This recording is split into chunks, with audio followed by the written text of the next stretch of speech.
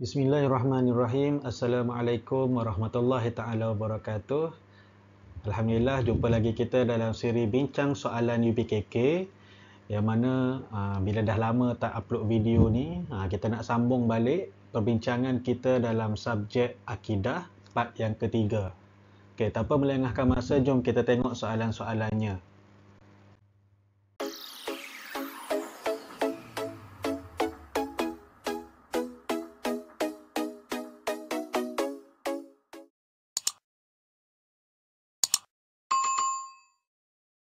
Okey, soalan 27. Okey, berdasarkan uh, fakta di atas, kita baca dulu kenyataan tu. Ali berbual dengan ustaz berkaitan dengan sifat Allah sifat hayat Allah yang tiada permulaan dan tiada pengakhiran. Lalu Ali meminta ustaz menerangkan perbezaan sifat hayat Allah dengan kehidupan manusia. Soalan 27, berdasarkan situasi di atas, tulis dua penerangan tersebut. Okey. Ali ni dia minta uh, ustaz dia terangkan perbezaan sifat hayat Allah dengan kehidupan manusia. Okey. Macam mana? Okey, kita boleh jawab Allah tiada permulaan dan pengakhiran, manusia pula ada kelahiran dan kematian. Okay, yang kedua kita boleh tulis Allah tiada roh dan manusia mesti mempunyai roh. Okay, itu perbezaan antara sifat hayat Allah ataupun sifat hidup Allah dengan sifat hidup manusia.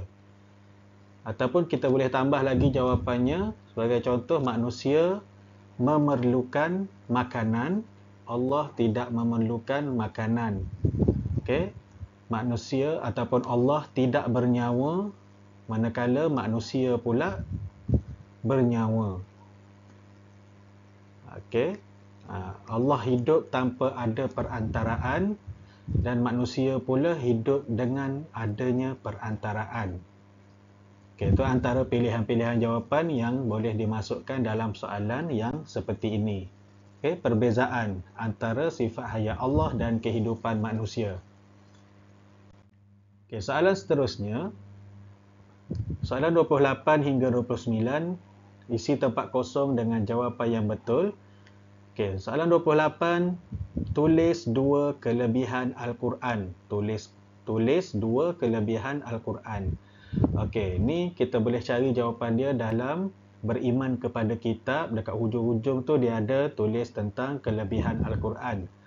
Okay. So soalan ni minta dua kelebihan Al-Quran. So kita boleh tulis jawapannya Al-Quran itu terpelihara daripada penyelewengan.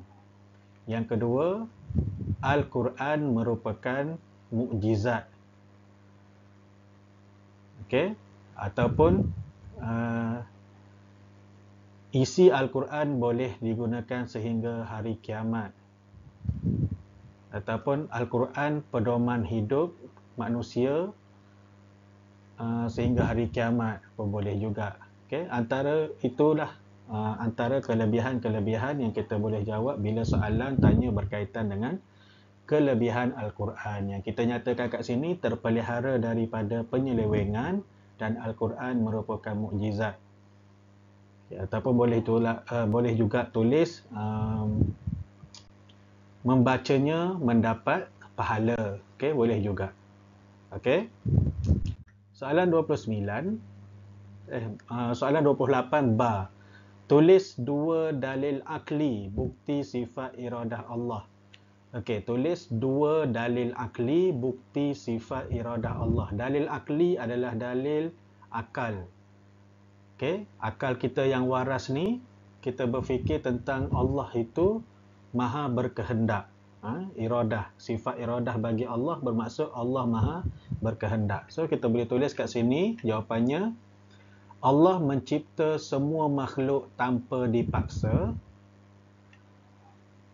Kalau Allah terpaksa melakukan sesuatu dikira lemah. Dan mustahil bagi Allah itu bersifat dengan sifat lemah. Okey, itu jawapan dia. Kemudian 29 nyatakan pengertian sifat harus bagi rasul. Okey. Rasul ni dia ada sifat wajib dia ada sifat mustahil dan dia ada sifat harus. So soalan ni tanya apa pengertian? Apa ertinya sifat harus? Apa maksud sifat harus? Ataupun apa definisi sifat harus bagi Rasul? So jawapannya ialah sifat yang sama dimiliki oleh manusia biasa tetapi tidak mengurangkan kedudukan mereka sebagai seorang Rasul. Okey, rasul ni dia manusia. Sifat seperti mana manusia ada pada diri para para rasul. Sebab dia uh, rasul pun manusia juga. Tetapi sifat-sifat itu tidak mengurangkan kedudukan mereka sebagai seorang rasul. Contohnya, kalau kita makan, rasul pun makan. Minum, tidur, jaga, bekerja, berkeluarga. Itu sifat-sifat harus. Tapi contoh tak perlulah dinyatakan dalam soalan ni sebab dia tanya pengertian sahaja. So, pengertian dia sifat yang sama dimiliki oleh manusia biasa tetapi tidak mengurangkan kedudukan mereka sebagai seorang rasul.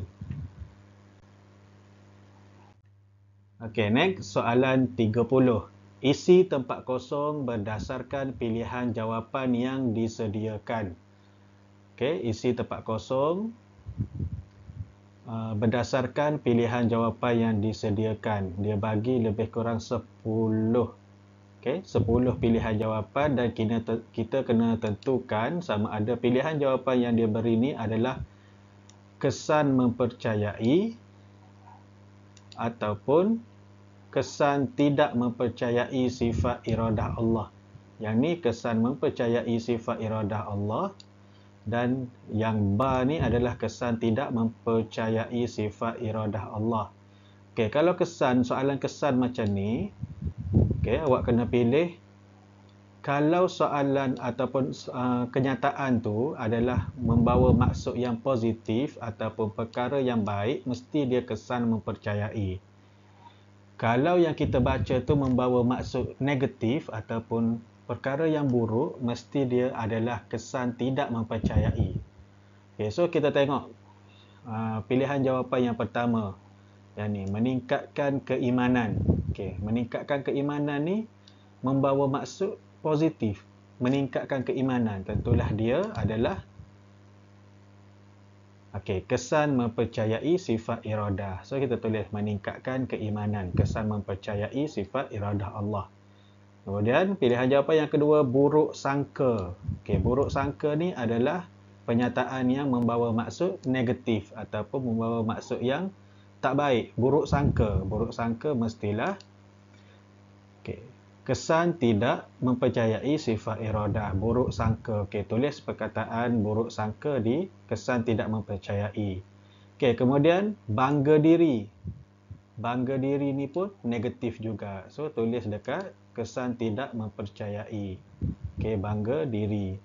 Kemudian ada keyakinan diri. Ada keyakinan diri ni positif. So, positif tulis dekat kesan mempercayai sifat iradah Allah. Kemudian tertulis sabar menghadapi cabaran. Okey, sabar menghadapi cabaran. Sabar menghadapi cabaran ni positif. So tulis lagi dekat kesan mempercayai sifat iradah Allah. Kemudian pilihan jawapan seterusnya adalah berputus asa. Berputus asa ni negatif. Negatif letak dekat kesan tidak mempercayai. Okey, kemudian redha di atas ketentuan Allah. Redha di atas ketentuan Allah kita tulis di Ha, sebab dia positif. Kita reda di atas ketentuan Allah. Apa yang Allah rancangkan untuk kita, kita terima dengan hati terbuka. Reda di atas ketentuan Allah adalah kesan mempercayai sifat iradah Allah. Okay, so salin dekat uh, dekat alif. Okay. So, uh, soalan ataupun pilihan jawapan seterusnya ialah lupa diri. Lupa diri ni negatif. So, tulis dekat tidak kesan tidak mempercayai. Kemudian merosakkan iman. Merosakkan iman pun kesan tidak mempercayai sifat iradah Allah. Dan kemudian yang terakhir berikhtiar dan bertawakal. Berikhtiar dan bertawakal ni positif. So kita letak dekat kesan mempercayai sifat iradah Allah. Okay, so selesai.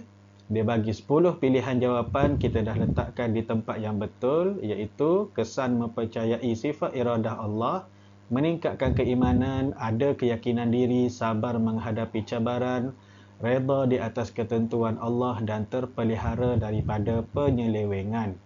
Kemudian kesan tidak mempercayai sifat iradah Allah pula ialah yang pertama buruk sangka, bangga diri, berputus asa, lupa diri dan merosakkan iman. Okey, selesai kita kelaskan penyataan-penyataan di atas kepada uh, tempat yang betul. Sama ada kesan mempercayai ataupun kesan tidak mempercayai. Okey, baik. Saya rasa sekadar itu sahaja apa yang kita boleh kongsikan dalam video kali ini berkaitan dengan uh, subjek akidah. Semoga bertemu lagi di video yang akan datang pada uh, perbincangan soalan-soalan yang seterusnya.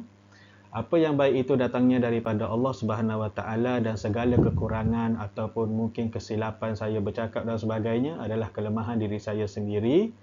Jangan lupa like, subscribe dan sharekan kepada kawan-kawan yang lain untuk kita sama-sama ambil manfaat daripada video ni. Okey, jumpa lagi di video yang akan datang. Assalamualaikum warahmatullahi wabarakatuh.